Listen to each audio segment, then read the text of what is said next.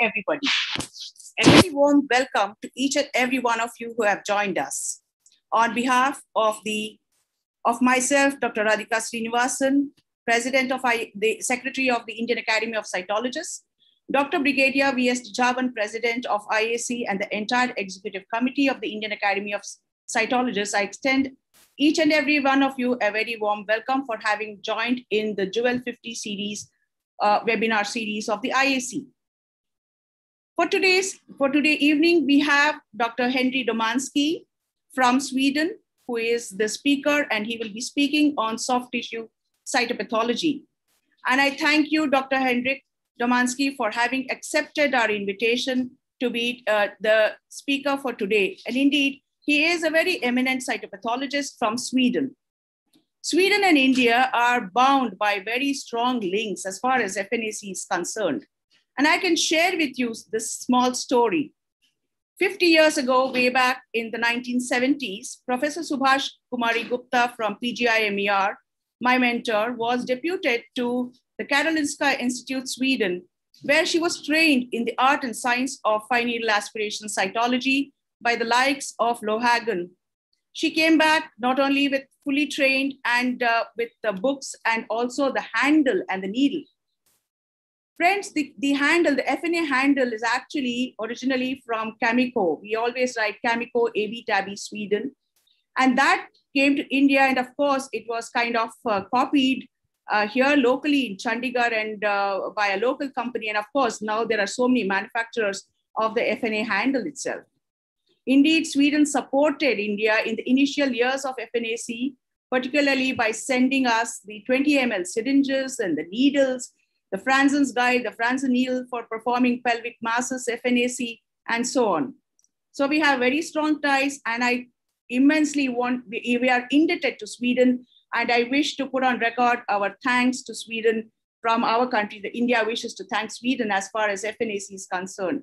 And today, FNAC is so widely practiced all over India and has saved millions of lives. With this brief uh, introduction, uh, I, I, again, I wish to uh, hand over formally to Dr. Dev Prasoon, the President-elect of the Indian Academy of Cytologists, for formally introducing the speaker of today's session. Uh, and it's over to you, Dr. Dev Prasoon. Thank you.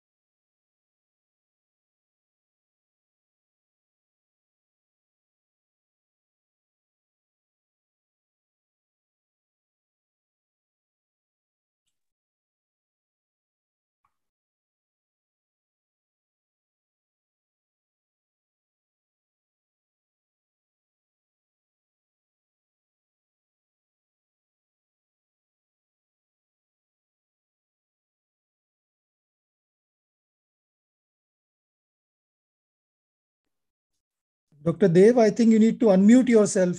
Sir, you're not unmuted. Okay. Good evening. It is my pleasure to introduce to you Dr. Henrik Domansky.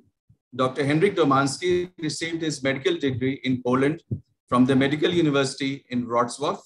He completed his training in anatomical pathology and in cytopathology in Lund University Hospital, Sweden. Presently, Dr. Domansky is an associate professor in Lund University and a senior consultant in the Department of Clinical Genetics and Pathology in Lund. He is also coordinator of the cytology service in university and regional laboratories, region Skåne in Sweden. Dr. Domansky is a nationally and internationally recognized expert in the field of fine needle aspiration cytology in general and soft tissue and bone cytopathology in particular. His clinical research has been devoted to the investigation of early detection of neoplasm, particularly musculoskeletal neoplasm. Dr. Domansky is the first or second author or editor in five monographs and atlases, six book chapters, and has 100 papers published in international journals. Dr. Domansky serves as a vice president of the Swedish Society of Clinical Cytology. He was the president of the European Federation of Cytology Societies 2018-19 and the president of the 42nd European Congress of Cytology in 2019 in Malmö, Sweden. With this brief introduction of an accomplished cytopathologist, I request Dr. Domansky to deliver his lecture on soft tissue cytopathology, the Lund sarcoma group experience. Dr. Henrik Domansky. Again.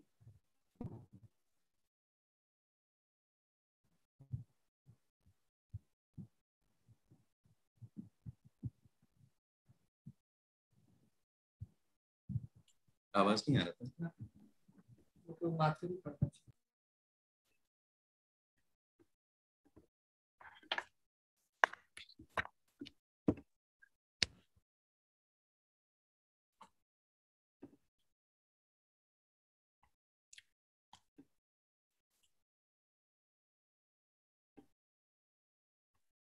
I'm sorry.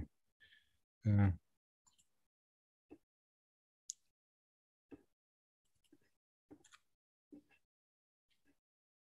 okay. Can you hear me? Yes.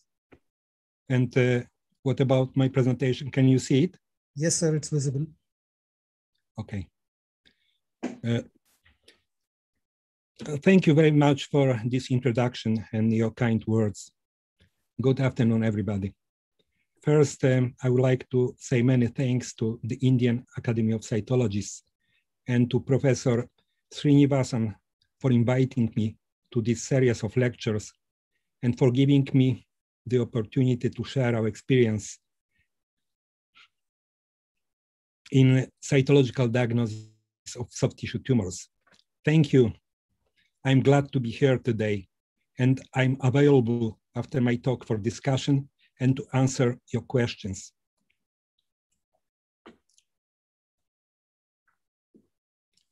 I don't have uh, any conflict of interest disclosed. To introduce my talk, I'm going to shortly discuss the current status and the specific problem encountered in cytopathology of soft tissue. After that, I will present our sarcoma team in uh, Lund and uh, our approach and the place of cytopathology in the evaluation of soft tissue lesions. I'm going to illustrate, illustrate my talk with uh, some common or less common or challenging soft tissue cases.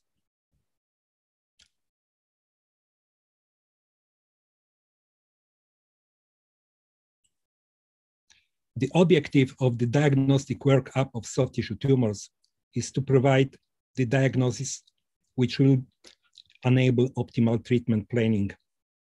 A tissue biopsy is a critical aspect in guiding appropriate initial management in patients with soft tissue tumors.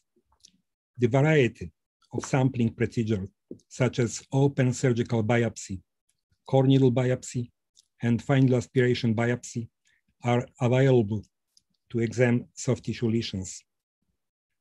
Open surgical biopsy and histopathological examination have been regarded as the gold standard, but uh, during recent decades, open surgical biopsy has been replaced by core needle biopsy to establish histopathological diagnosis of soft tissue tumors.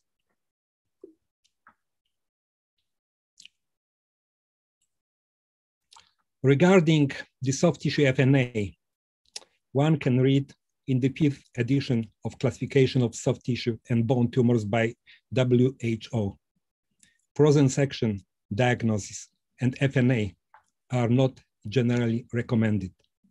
FNA is proposed by some expert centers with specific cytological expertise and the capability for careful clinical radiological correlation.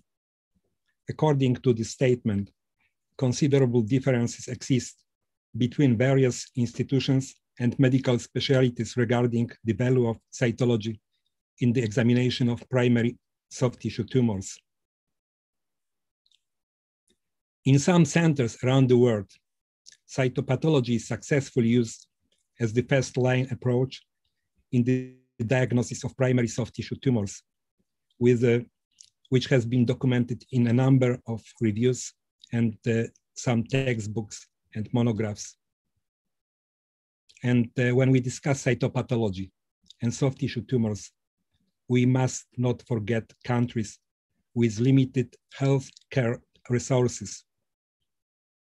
In those countries, cytopathology is widely used in the examination of soft tissue tumors, as it is a less expensive and less infrastructure demanding diagnostic procedure. FNA is commonly used and generally accepted to confirm recurrences and metastasis of previously treated sarcomas and to diagnose metastasis of carcinoma, melanoma, or lymphoma, presenting as a soft tissue mass. In such cases, FNA offers a low risk, fast, and precise diagnostic modality in order to avoid invasive diagnostic procedures and unnecessary excisions to illustrate this, this patient was admitted because soft tissue mass in the right upper arm. He had a history of renal carcinoma, but clinically, a suspicion of sarcoma was raised. FNA smears show clusters of cells with small to middle size round nuclei and abundant cytoplasm with small vacuoles. There are some fragments of collagenous tissue in the cell clusters. And as you can see, the smears do not look like sarcoma. And on the cell block sections, we can appreciate preserved architecture of the clear cells neoplasm consistent with metastasis of clear cell renal carcinoma and uh, we can confirm the diagnosis by immunostainings on cell block sections, showing, uh, in this case, CD10, PAX8, and RCC positivity. Coming to the diagnosis of primary soft tissue tumors, FNA has been used to a limited extent, compared, for example, with FNA of the thyroid gland or salivary glands. As we all know, many types of soft tissue tumors show morphologic overlap, but they display particular patterns of highly specific protein expression or genetic changes. And ancillary tests such as uh, immunocytochemistry or molecular tests can be used to confirm or rule out a specific diagnosis. Here, you can see an example of small round cell tumors, poorly differentiated synovial sarcoma and Ewing sarcoma with the overlapping microscopic picture, but uh, very specific patterns of immunostainings and molecular alternations that help to make histologic diagnosis. As ancillary tests can be easily applied to cytological samples, the role of cytopathology alone or as a complementary procedure to core needle biopsy in the diagnosis of soft tissue tumors has uh, increased greatly in recent decades. And just to remind you, FNA is a rapid, safe, technically easy, and minimally invasive technique, most often performed in an outpatient setting.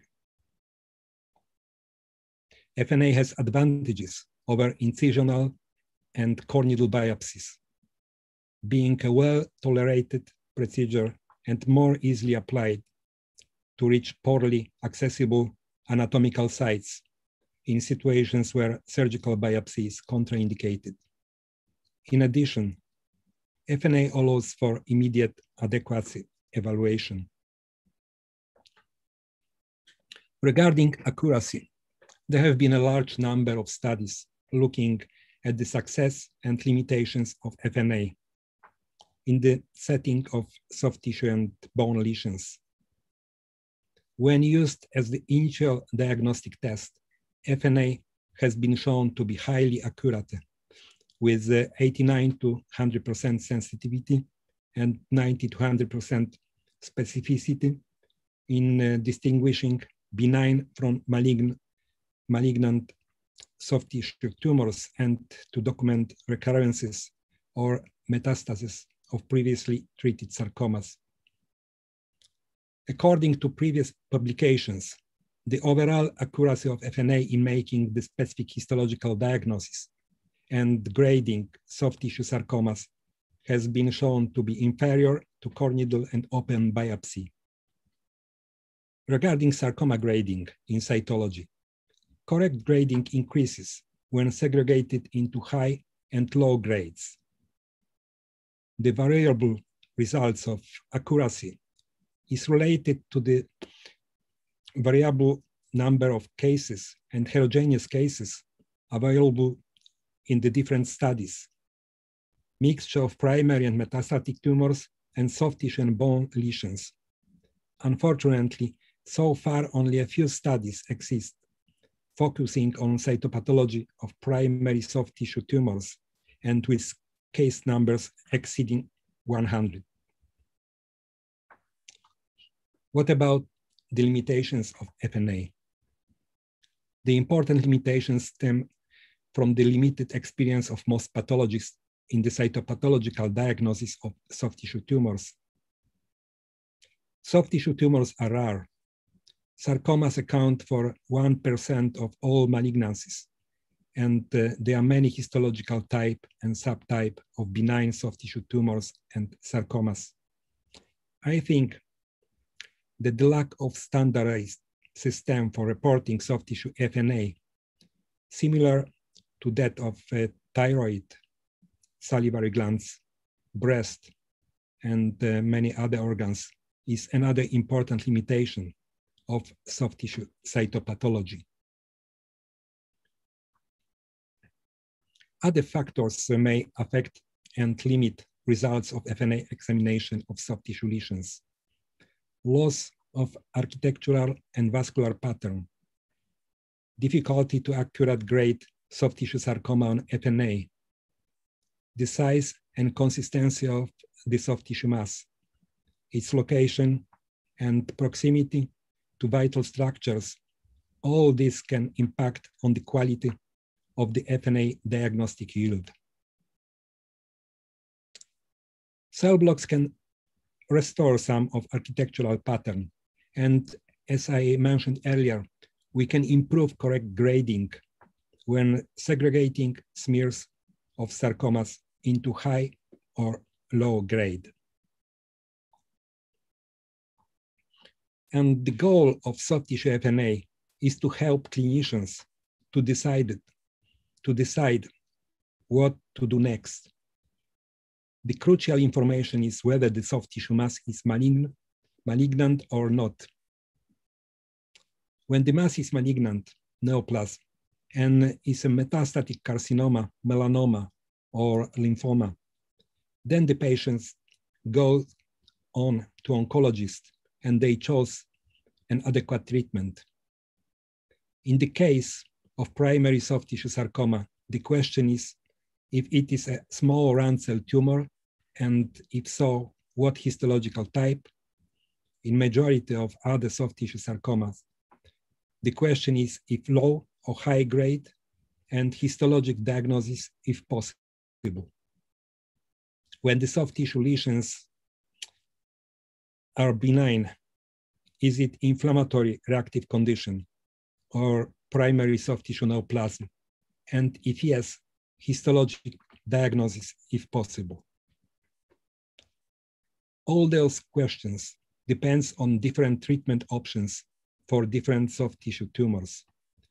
Most common therapy for localized primary soft tissue sarcoma is limb sparing wide surgical resection and adjuvant radiotherapy or chemotherapy if required.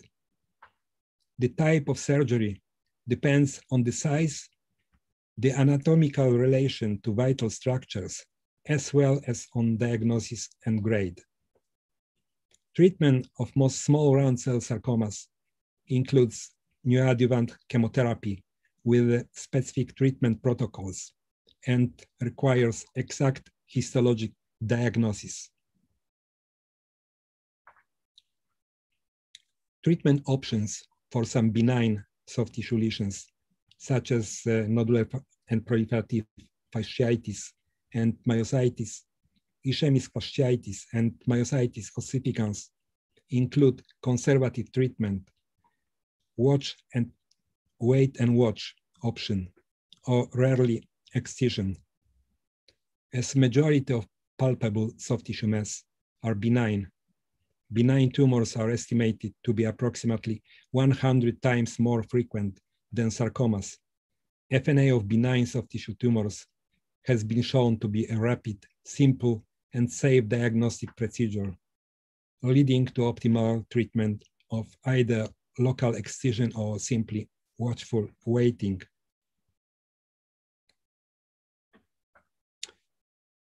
We cannot uh, forget the role of clinical information and radiology in diagnosis of soft tissue tumors. Most malignant soft tissue tumors are larger than five centimeter and deep, while only 5% of soft tissue tumors larger than five centimeter and uh, about 1% of deep seated, seated soft tissue tumors are benign. Radiological features play important role in the diagnosis as well. In MR, in MR, most of sarcomas have a high T2 signal density and are usually heterogeneous on the T1 weighted images. Coming to the FNA workup of soft tissue tumors in our institution in Lund. Sweden has 10 million inhabitants and sarcoma incidence is approximately 370 new cases of sarcoma per year.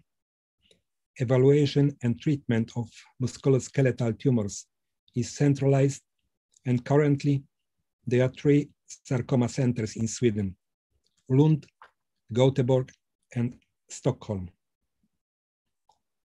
Sarcoma centers in Sweden are members of the Scandinavian Sarcoma Group, a multi-center organization working in Scandinavian countries since uh, 1979.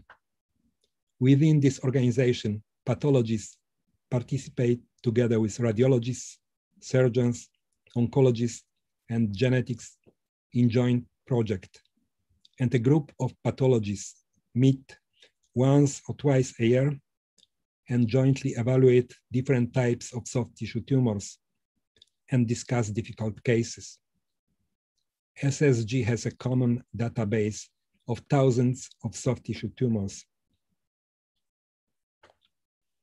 Regarding management of soft tissue tumors in Sweden, specific referral guidelines exist.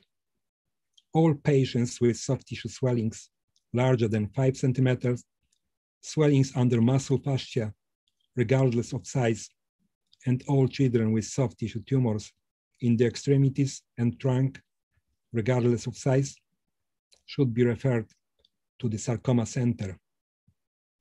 MR is recommended as the first choice in the evaluation of soft tissue tumors, and biopsy should be carried out and diagnosed at sarcoma center.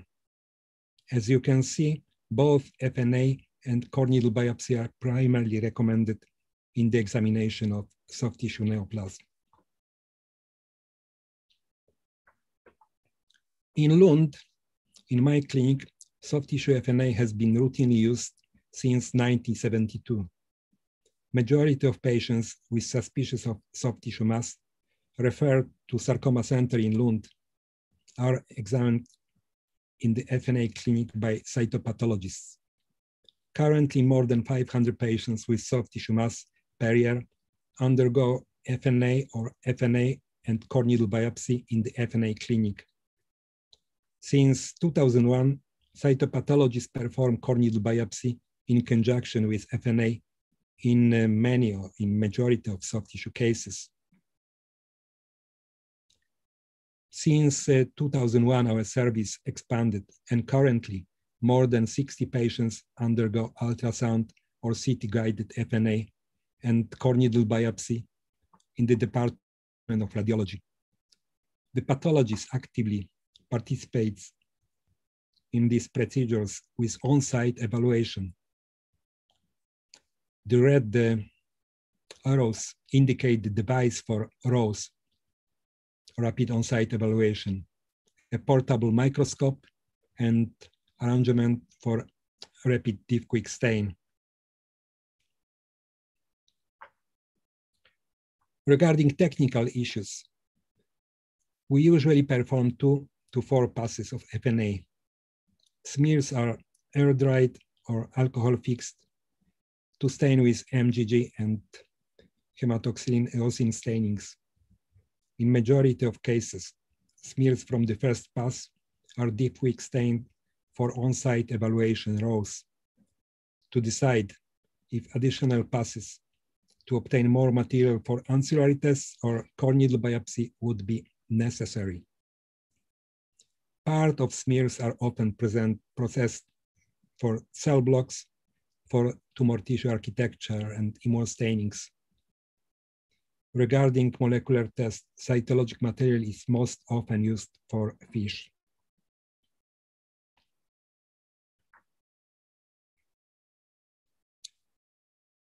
Coming back to soft tissue FNA, in our approach to diagnosis of soft tissue lesions, we use triple diagnostic principles. The diagnosis is a synthesis of clinical and radiological data and biopsy, which uh, in our clinic most often FNA and core needle biopsy.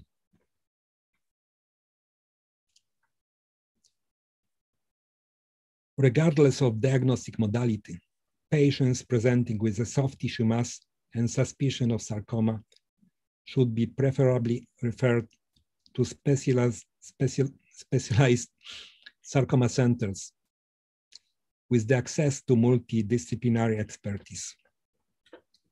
In our center, workup of soft, workup of soft tissue tumors is a jointly work of all members of our multidisciplinary sarcoma team.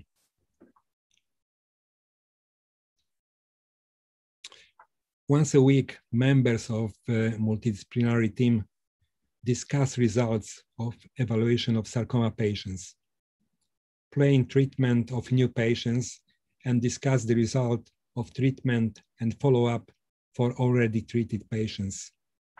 Members of the team has access to clinical data, images, and the biopsy results.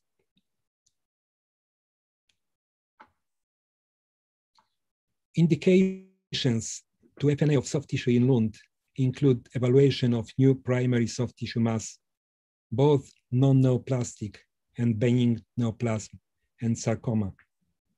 Other indications are diagnosis of locally recurrent and metastatic malignancies presented as a soft tissue mass.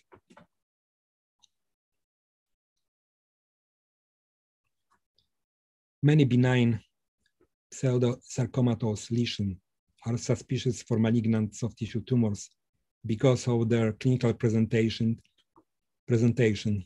And FNA can be simple and rapid method to exclude malignancy and suggest correct diagnosis. It is very important to be familiar with cytological features and correct recognize benign reactive soft tissue lesions and to distinguish them from true neoplasm because different treatment options. I would like to show you some example of inflammatory reactive soft tissue cases relatively easily diagnosed by FNA as benign lesion, but where exact histologic diagnosis can be difficult to render from cytological smears alone. FNA smears of the six centimeter large subcutaneous mass show scanty material with the of uh, small loss uh, sheets and single myofibroblasts-like cells and fibrin. FNA was signed out as benign reactive condition, likely ischemic fasciitis. And the diagnosis of ischemic fasciitis was confirmed by simultaneously taken core needle biopsy, showing this characteristic uh, zonal architecture of fibrinoid necrosis and hypocellular fibrosis. This 65-year-old woman presented with a deep, hard, and tender mass in the right upper arm of uh, one month duration. FNA smear show proliferating fibroblasts and myofibroblasts with admixture of osteoclasts, oste osteoclasts, osteoblasts, and uh, regenerative muscle fibers. On this slide, you can see spindle cells embedded in a pinkish violet matrix, likely osteoid. And on the next slide, regenerating muscle fibers presenting as a muscle giant cells.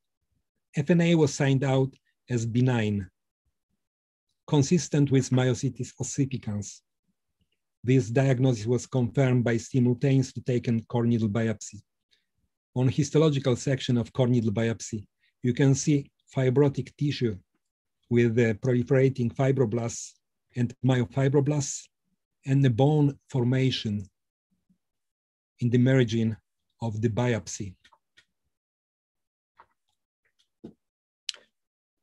When we discuss FNA of reactive sarcomatous conditions of soft tissue, I would like to stay for a while and show some smears of nodular fasciitis, one entity which can be difficult to diagnose correctly on FNA smears, as it shares some microscopic features with many other entities.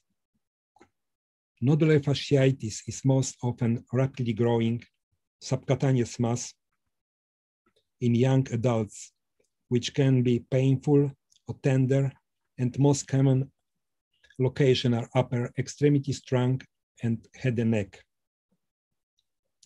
Most of the nodular fasciitis are rapidly growing and self-limited masses. Because nodular fasciitis may mimic clinically and radiologically benign and malignant neoplasms. Problem in FNA diagnosis occur when we deal with cases of uncommon clinical presentation and cellular smears resembling that of spindle cell or pleomorphic sarcomas with a myxoid matrix or other myxoid neoplasm. Unfortunately, many of those cases are treated with unnecessary surgery. Here, we can see some smears of nodular fasciitis, where we can uh, see clusters and disperse and uh, disperse uh, myofibroblastic cells with admixture of osteoclast-like cells ganglion cells, binucleated ganglion cells, and uh, these cells are often in the myxoid background. And finally, very easily found mitosis. Our approach in Lund to nodular fasciitis diagnosed on FNA smears is watchful waiting for six weeks to some months. And when the lesion does not get smaller or disappear, it should be removed for histopathological examination. This young woman presented with a five centimeter deep mass in the shoulder. FNA smears are hypocellular, showing large clusters of spindle cells and dispersed pleomorphic myofibroblasts in the myxoid background. Cell block sections show positive staining for smooth muscle actin and negative for Desmin. This case was correctly diagnosed on FNA smears and cell block sections as nodular fasciitis. And now I would like to discuss practical approach to diagnose FNA smears from uh, new primary soft tissue tumors. There are more than 100 uh, subtype of soft tissue neoplasm, and I don't think that it is possible for us on FNA to subtype everyone perfectly. Practical way to interpret and diagnose FNA smears from primary soft tissue neoplasm is to divide them into specific morphological categories based on their microscopic pattern, such as uh, the background of the smears and the dominant type of tumor cells. These categories, including smears with myxoid background or smears of predominantly small round ovoid, spindlet, epithelioid, polygonal, and pleomorphic cells, which can be a precise matching the surgical pathology diagnosis or may raise a limited number of differential diagnoses. Many cytopathologists use additional category of smears showing adipocytic pattern. Regarding this category, lipoma is uh, the most common soft tissue neoplasm and liposarcoma, most common adult soft tissue sarcoma. However, there are variety of benign and malignant lipomatous tumors that present myxoid background and predominantly spindle cells or pleomorphic patterns and do not match adipocytic pattern only.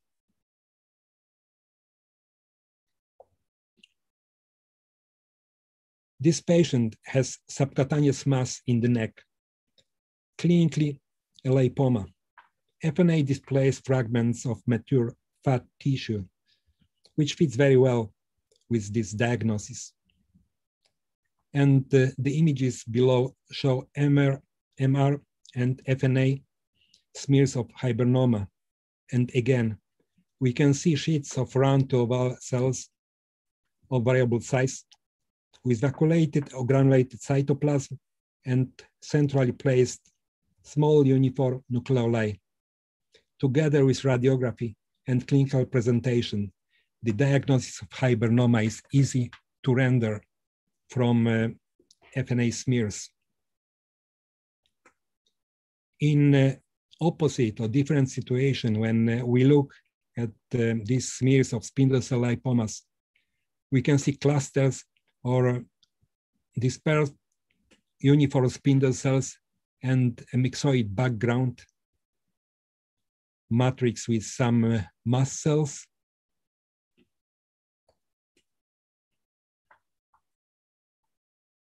And uh, we can hardly see any fat cells.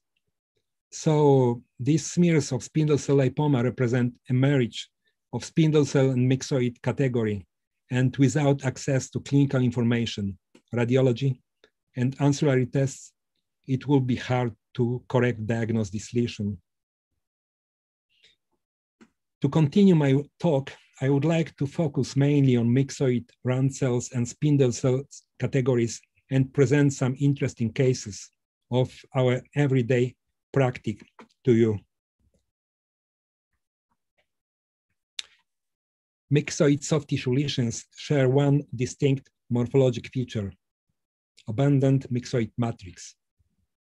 Myxoid lesions, particularly low grade can be diagnosed based on cytomorphology alone. Morphologically, benign myxoid lesions generally have lower cellularity and less atypia than malignant ones. In uh, the examination of some myxoid lesions, the combination of clinical information and morphological features give us diagnosis and for other ancillary studies consider necessary to obtain histologic diagnosis. I would like to show you a couple of cases showing myxoid patterns in FNA smears. This 46-year-old uh, woman presented with a slowly growing mass in the right thigh. FNA smears show an abundant myxoid background and loss clusters of or scattered single cells with uh, small round nuclei and often with uh, very long cytoplasmic projections. And in the high magnifications, these long cytoplasmic projections are very distinct. Cell block section shows basically similar pictures. And whole tumor section of excised myxoma, where we can appreciate this very hypercellular myxoid lesion. In summary, along with uh, these cytologic diagnostic criteria, smears of intramuscular myxoma show frequently distinct microscopic features, and it is an example of benign myxoid soft tissue tumor, which can be confidently diagnosed on FNA smears alone when we put together clinical presentation, radiology, and cytopathology. The most important differential of myxoma is low-grade myxofibrosarcoma, the presence of moderate nuclear pleomorphism. Fragments of capillaries and in the myxoid matrix are the most important clues to the diagnosis of myxofibrosarcoma. Smears from myxomas are hypocellular and the, the nuclear pleomorphism seen in uh, myxofibrosarcoma is absent. Regarding myxoid sarcomas, many of them can be diagnosed confidently using FNA in conjunction with ancillary diagnostic tests. A good example is myxoid liposarcoma. This 34-year-old man presented with a huge deep mass in the left thigh. FNA smear showed tissue fragments with a run to ovoid primitive mesenchymal cells, abundant myxoid matrix, and branching capillary network. And here we can see diagnostic features of myxoid liposarcoma, characteristic myxoid matrix, capillary network, and uni or multivacuolated lipoblasts, some with signet ring features. Here you can see a lot, plenty of lip, signet ring-like lipoblasts in the cell block of myxoid liposarcoma. Most myxoid liposarcoma is characterized by the recurrent translocation T2016 with gene fusion that is specific for this neoplasm. FISH examination is then very helpful to make correct diagnosis. And again, I would like to show you how repetitive this picture is. Some smears from different cases of myxoid liposarcoma, abundant myxoid matrix, capillary network, and univocal lipoblasts. Differential diagnosis includes spindle cell lipoma, intramuscular myxoma, and low-grade myxofibrosarcoma. And on this slide, you can see smears of spindle cell lipoma resembling that of myxoid liposarcoma. This case was misdiagnosed as myxoid liposarcoma uh, of an, on FNA.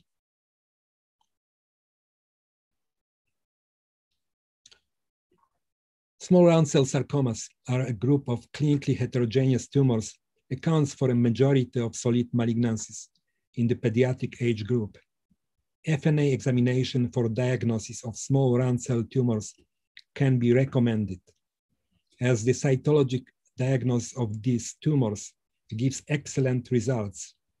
When FNA is combined with ancillary tests and with an adequate specimen, a specific histologic diagnosis is rendered in more than 93% of cases. This 30-year-old man presented with a huge intra-abdominal mass and liver metastasis. FNA smear stain with Diff-Quik shows microscopical features of small round cell tumor, small rounded and dark tumor cells with poorly preserved cytoplasm in cases like that, ancillary diagnostic tests are necessary to make histological diagnosis.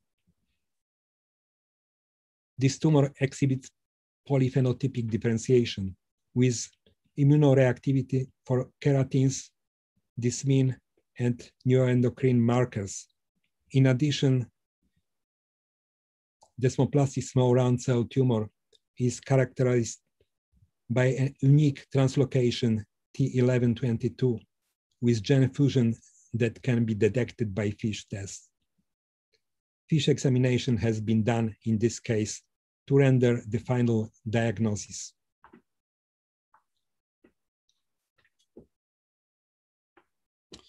Now let's talk about spindle cells. Spindle cell soft tissue tumors constitute a broad category of benign, intermediate, and malignant tumors. Many of them are common targets for FNA and cytologic examination.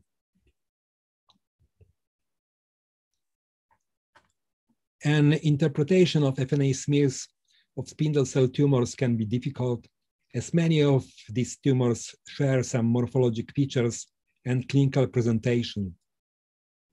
Without ancillary diagnostic tests, specific histological diagnosis is hard to render from aspiration smears alone. FNA diagnosis of some benign spindle cell lesions, however, can be confidently diagnosed with an adequate specimen.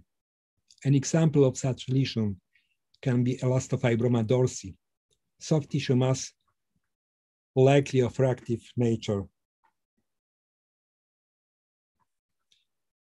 This lesion is typically slowly growing mass located near the inferior margin of the scapula.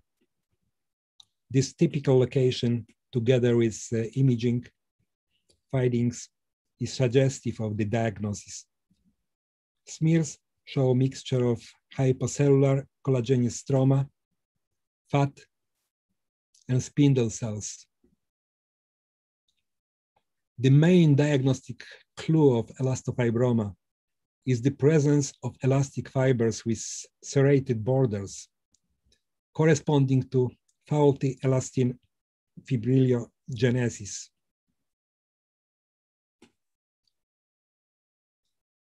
These fibers can be clearly visible in high power magnification. Below, we can see them in elastin stained core needle biopsy section. Diagnostic difficulties arise when the material is poor, fat cells are dominant, and the typical serrated elastic fibers are missing. And uh, an important notice, the degenerated elastic fibers presented as linear, globular, and stellate structures with serrated edges are usually easy to find on wet fixed smears. These fibers are very subtle in air-dried smears. The next spindle cell lesion commonly examined by FNA is schwannoma. Schwannoma is a benign spindle cell tumor of nerve sheath origin. Majority smears of schwannoma display distinct morphology, and this diagnosis is relatively easy to render from routinely stained smears. In smears of schwannoma, we can appreciate cohesive tissue clusters and the fragments of different size with irregular borders, spindle cells with long and slender, sometimes comma and boomerang shaped nuclei with pointed ends, and occasionally nuclear palisading created uh, Verocay bodies. Rounded nuclei is often part of the cell population. There are, however, a subset of schwannomas that show atypical features and cause diagnostic difficulties. Cellular smears and smears from ancient schwannomas containing large, bizarre nuclei often raise the possibility of a malignant tumor. In our study of 160 schwannomas with histologic confirmation, Six cases were misdiagnosed as malignant by, FNA, five of those as sarcoma. Similar problem were reported in many publications of cytopathology of schwannoma. On these slides, smears of schwannomas show a worrisome picture. Smears uh, of ancient schwannoma exhibit nuclear pleomorphism with occasional marked anisokaryosis and hyperchromasia. Our approach to FNA diagnosis of schwannoma includes preparation of cell blocks and immunocytochemical tests if satisfactory specimen is obtained. This patient presented with a subcutaneous mass in the forehead. FNA smears show cellular clusters of spindle cells. On hematoxylin eosin stainings, we can see nuclear palisading creating Verocay bodies.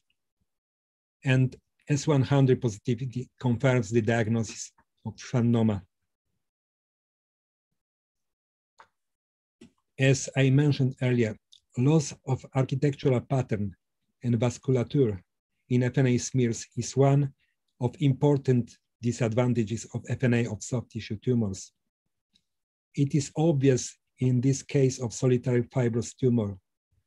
We cannot appreciate typical prominent staghorn vascular, vascular pattern in smears of solitary fibrous tumor. However, growing access to new ancillary diag diagnostic tests has greatly facilitated the FNA diagnosis and in many cases of spindle cell tumors, histologic diagnosis can be rendered from smears in conjunction with ancillary tests, despite lack of typical architectural patterns. This 84-year-old man presented with a 10 centimeter deep mass in the neck FNA smears show tight clusters, fibroblast-like tumor cells with spindle or ovoid nuclei and scant cytoplasm. Immunocytochemistry is diagnostically helpful in this case, as the tumor cells display non-characteristic spindle cell morphology, but display characteristic reactivities for CD34 and STAT6 on cell block sections.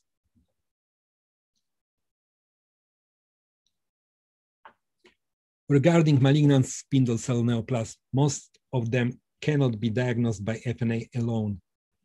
When we use FNA in conjunction with diagnostic ancillary tests, we can solve many cases of spindle cell sarcoma and establish precise histopathologic diagnosis by FNA I would like to show you some example of spindle cell sarcomas that can be diagnosed confidently by FNA. All these cases of dermatofibrosarcoma protuberans presented as an exophytic mass and in one patient as a small induration in the skin of the infraclavicular area.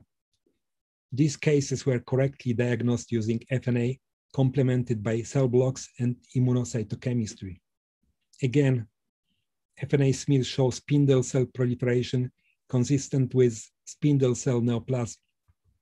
On cell block section, we can appreciate a storiform pattern of dermatofibrosarcoma protuberans and uh, a positive result for CD34 staining, which confirms the diagnosis. Additional example of spindle cell sarcoma that can be confidentially diagnosed on FNA smears, complemented by ancillary tests are leiomyosarcoma. Leiomyosarcoma accounts for more than 10% of all primary soft tissue sarcomas.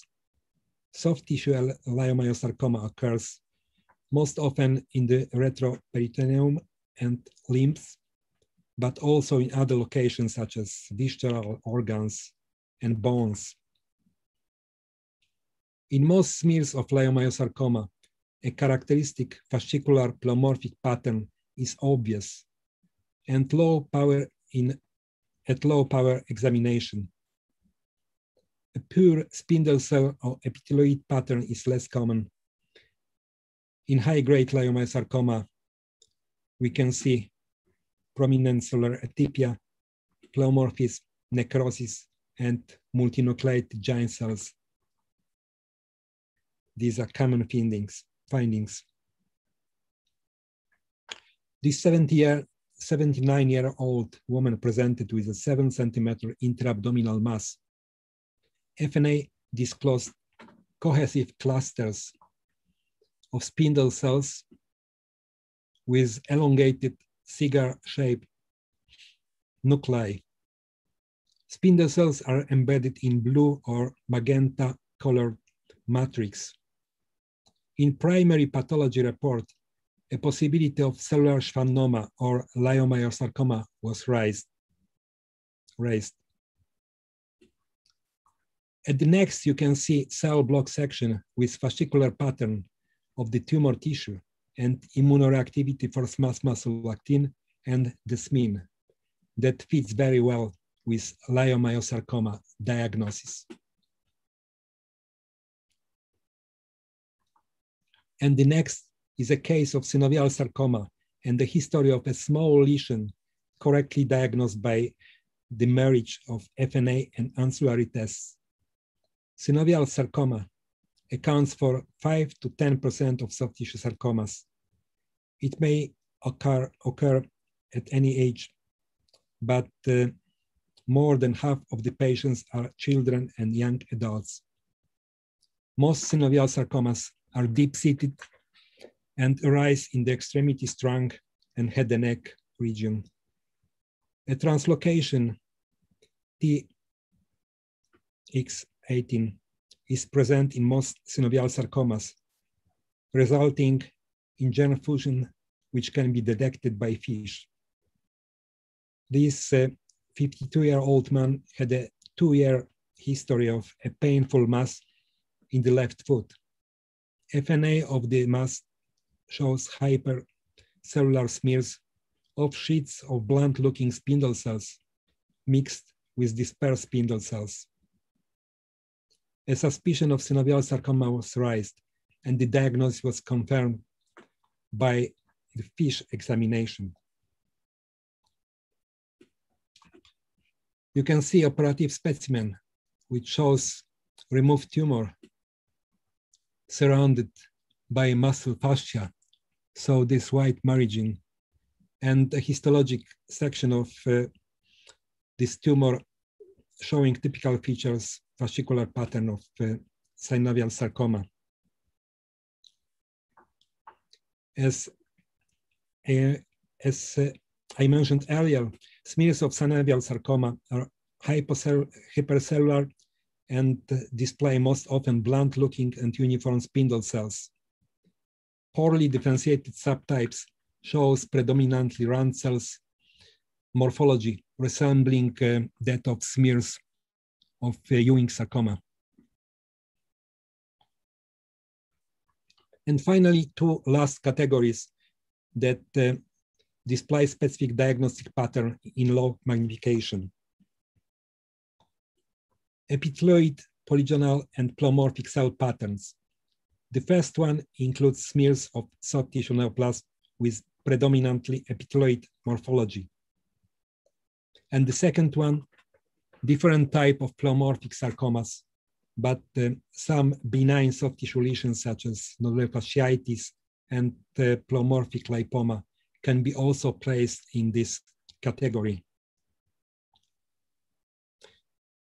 to finish my talk, just some words about the possible complications of soft tissue FNA. Minor bleeding can occasionally occur, but uh, I've never seen an infection, pneumothorax, or tumor cell sitting along the needle track in our patients. The last complication is extremely rare and can be related to the size of the needles. I mean more risky with core needle biopsy than with FNA. And the final message is we can do it. FNA is an excellent diagnostic tool, but we need to be aware of the limitations of this diagnostic procedure. And we need to be familiar with histopathology and cytopathology of soft tissue lesions. And a take home message. These are important points in the cytologic evaluation of soft tissue tumors.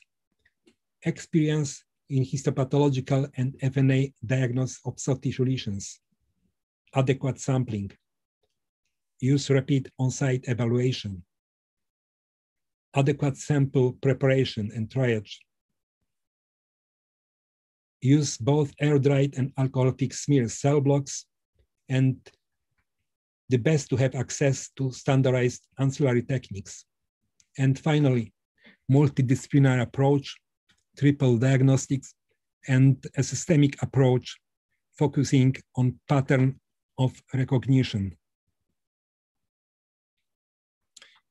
These persons are members of our sarcoma team in Lund. And uh, I say thank you very much for your attention. Thank you.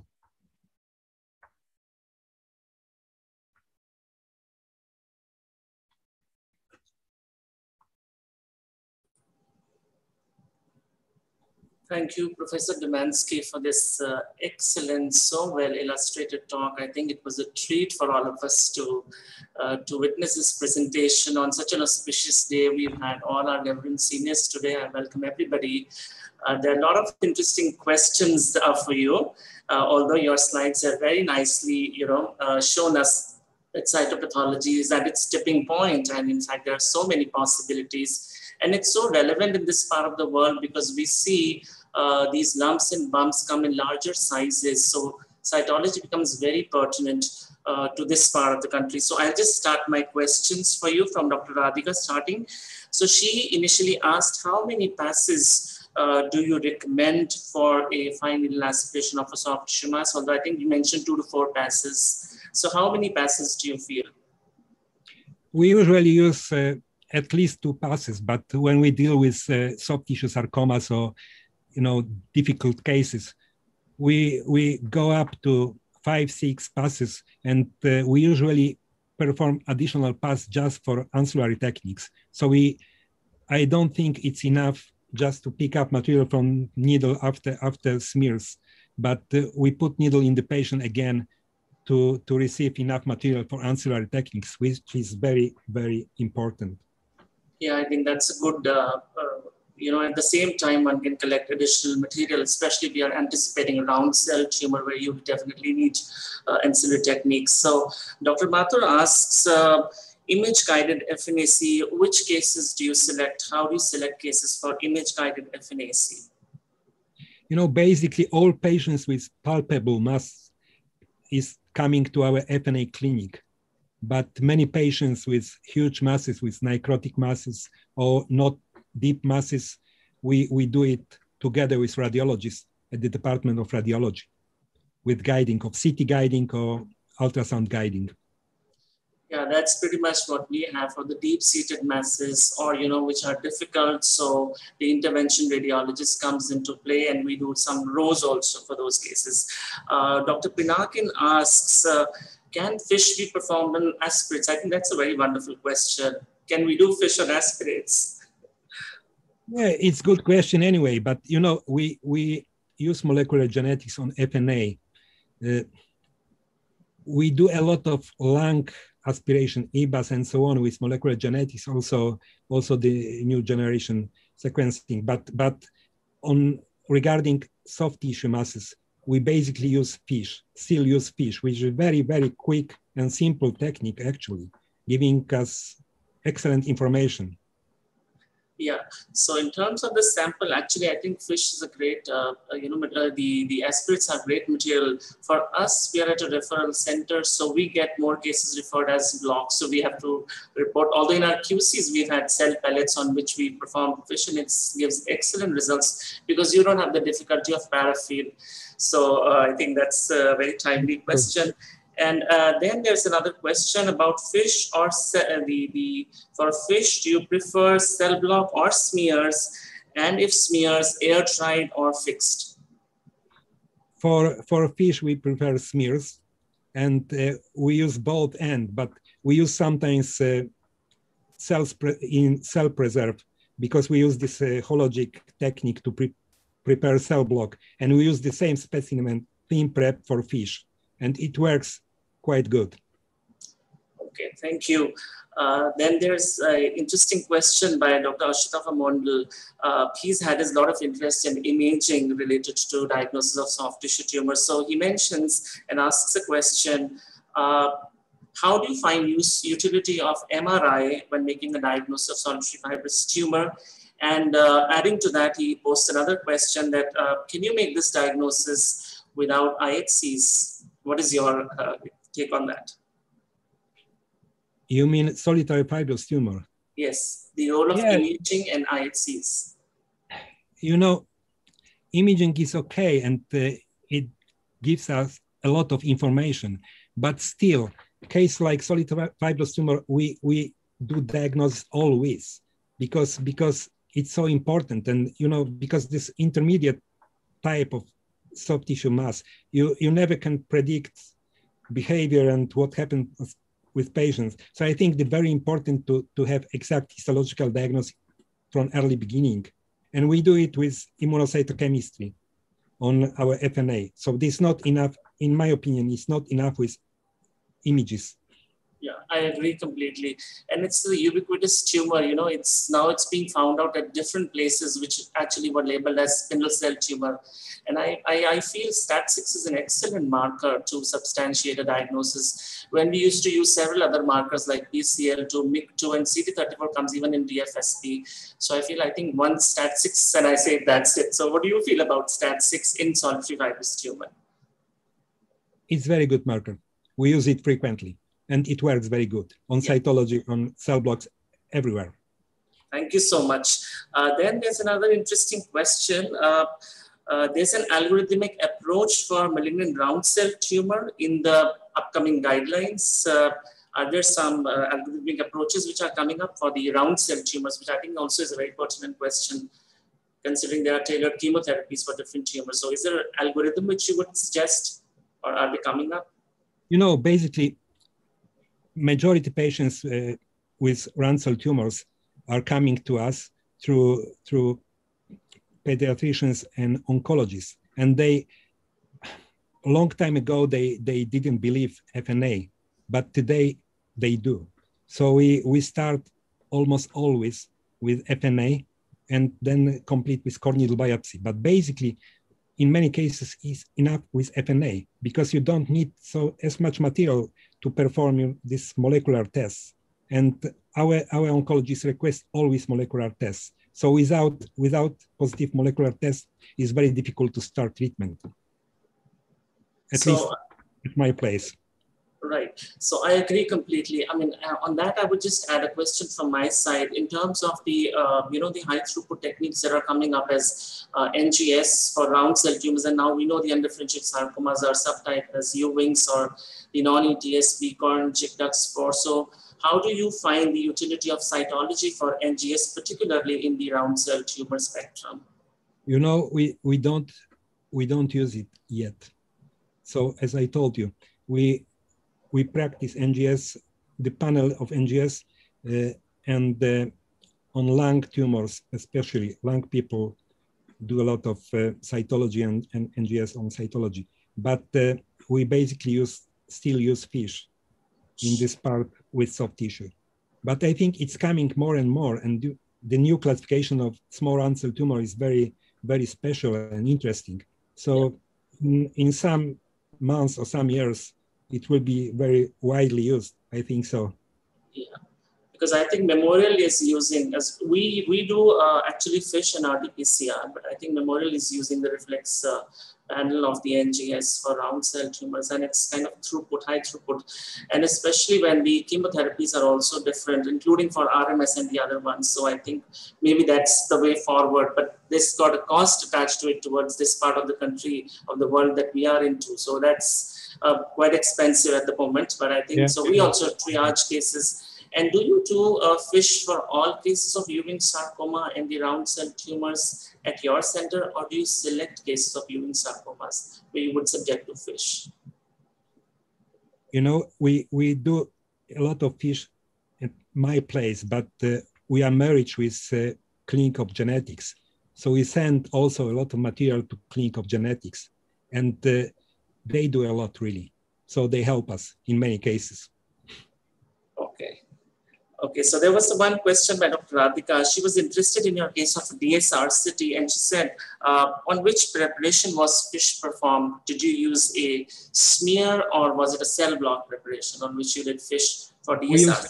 We use, we use direct smears or, or liquid-based preparation. Okay, so on the, on the LBCs. Okay, I think that's a great, uh, great uh, sample again. And uh, another comprehensive question, a very interesting question again, you know, I, for my, from my side also, do you use terms like low-grade spindle cell tumor? Because we get these, this is one of the referral, you know, diagnosis for certain entities. So do you use it? And what is your experience with the low-grade spindle cell tumor? My Dr. Radhika, this question.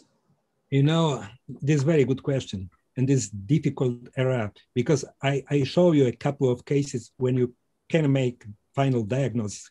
But I, I, I believe it's much better if you if you can't be honest and tell to clinicians that this one is spindle cell lesion. I don't know if it is benign or low grade. So we have to go forward with core needle biopsy or something else. I think the, this is the best solution. Instead to try to you know find diagnosis and then it will be wrong. Right. So I, I personally uh, do not prefer to use the term grade when I say, uh, when I'm, you know, unclear about a sarcoma because I restrict preferably more towards a sarcoma. So I say probably a spindle cell tumor of uncertain, uh, you know, the the one of the categories uh, of the uncertain malignant potential that is coming up as part of your excellent paper in the six categories that have come up in cytopathology journal. So I think that's one term. And we do see nodular fasciitis, you know, as referred as spindle cell low grade tumor and actually on biopsies of it, you know, and it just shows up as nodular fasciitis. So that's one entity, I think, when people sort of, you know, uh, think about a low grade tumor or suspect sarcoma. So overall, do you feel in this present times, Dr. Mondal asks that uh, in soft tissue tumor cytology, can we do without ancillary techniques like IHCs? How important it is to integrate? I think the way you said marriage of the clinical and the immunos. So what do you feel overall in terms of present times? You know, of course, it depends of your resources in Sweden, we, we are on the way to use more and more ancillary techniques and more sophisticated diagnostics. But I think the power of FNA is also, it's very simple and easy and quick method. And sometimes it's enough to say, this one is not malignant. It, you are very happy with this kind of diagnosis, yes? But, but I think in the end, if you want to work with soft tissue and, uh, and uh, sarcomas, you, you need ancillary techniques. Yeah, I agree. You know, uh, that's that's true that we have to integrate. And the way you very rightly said, you know, to integrate uh, with ancillary techniques, uh, uh, with the clinical findings and imaging, and the way you showed your cases was uh, so uh, delightful and reassuring to us. So I think, uh, yeah, and there's one more final question, if you don't mind answering. Uh, somebody wanted to ask uh, why a simultaneous FNAC and biopsy was performed in the case of uh, ischemic fasciitis. Uh, so you had a case in which there was a simultaneous and does, that does happen. So just somebody's curious to know why the uh, FNA and biopsy was simultaneously done in the case of ischemic fasciitis. You, you know, we, we, as, because core needle biopsy is actually quite simple procedure as well, with exception for a local anesthesia. And when we when we meet patients and uh, when when something is not completely clear, we take usually sample both for ancillary techniques and perform core needle biopsies. And sometimes core needle biopsy is better than cytology, and sometimes cytology is better. So these two techniques complement to each other. So this is the reason we use quite frequently nowadays both FNA and core needle biopsy by cytopathologists. I completely agree that they are very complementary. Sometimes, you know, for the large mass lesions, when you can have multiple passes within FNAC, and uh, uh when you compare to a biopsy, which will give you a limited number, of course. So I think it's a good, sometimes cytology tells us, you know, uh, features which can uh, sort of uh, let, compel us to go back to the biopsy and the diagnosis can be a, a, great integration of the two. So I completely agree with your these very valuable thoughts. And uh, thank you so much, Dr. Domansky. Dr. Bharat, Dr. Bharat, there is another question by Deepa Singh. There's okay. a question by, yeah. Uh, can I read it out if you don't yes, mind? Yes, sure, sure, sure, Dr. Radhika, uh. Deepa Singh asks, it is seen in our experience that FNA smears of benign fibrous histiocytoma do not reveal Touton type giant cells. On histology, they are clearly visible. Any particular reason for this? Oh, I have to I have to say that I haven't seen as many cases on FNA of uh, benign fibrous histiocytoma. I think in in my clinic we we may be seen three or four cases, and in one case I could find these giant cells. So speaking of giant cells, there's, you know, I, I came across a case which actually was labeled as rhabdomyosarcoma, which turned out to be an LCH. Uh, the histiocytosis, not actually Langerhans cells. Uh, and it did have uh, uh, Touton-like giants, several binucleate forms, uh, which were very worrisome. So speaking of that, uh, would you like to highlight what are the false positives that you've come, I've come across uh, fibromatosis is one of the false positives. And you mentioned about ancient neurilemmoma or schwannoma. Any other false positives that you do come across uh, which we should be alert, which we should be careful about? We we make aspiration of of uh, desmoid fibromatosis as well, and uh, it's very it's very tricky diagnosis because because you know on cytology it's very difficult with with uh, immunostainings and it doesn't help as much. So I think this is the combination of images and FNA. And uh, anyway, we quite often take core needle biopsy as well. And, uh, and regarding schwannomas, you know, I, I believed before that it was very simple diagnosis. But uh, many years ago, we, we did this study with 160 patients. And I was completely surprised that, I, as I remember, it was about 20% no satisfactory specimens and five malignant cases, you know, six malignant cases which was finally schwannoma. So it was the reason I wanted to tell you about schwannomas because the diagnosis of schwannoma is not as easy as, as many cytopathologists believe. I agree. Yeah, especially when there can be a paradoxical high cellularity, and uh, so one can get very tempted to call it a sarcoma. So I think that's uh, that's, a, that's a very very uh, right pitfall that one needs to be aware of, not to fall into. And thank you for guiding us on that. Uh, Dr. Radhika, are there any other questions? Yeah, because yeah, there is another question by uh, uh, Dr. Vijay Gupta, who again I think it's partly covered, but uh, anyway, I'll read out this question. Are there any soft pointers to distinguish recurrent benign soft tissue lesions with good cellularity versus lesions of intermediate malignant potential like DFSP?